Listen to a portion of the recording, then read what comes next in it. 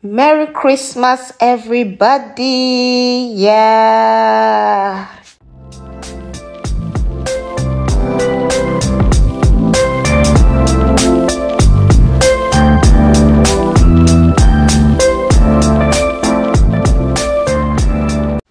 It's a day in the life of a regular Nigerian, and you know how we celebrate Christmas in this part of the world.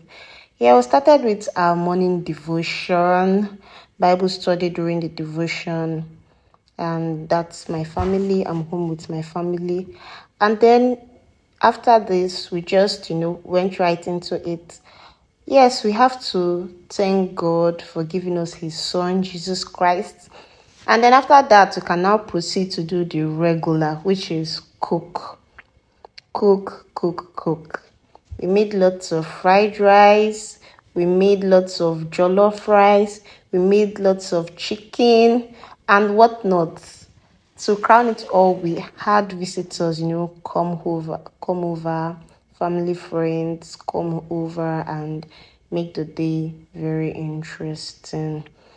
What is your most enjoyable part of Christmas? What do you enjoy the most about Christmas? Share with me in the comment section below. Yeah, I made tiger nuts, you know. If you didn't know I'm in a northerner, so it's one of those things we do. We call it kunuaya. There were lots of other stuff. A family friend brought some ice cream home.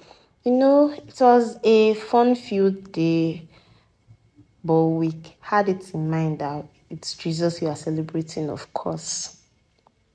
Yeah.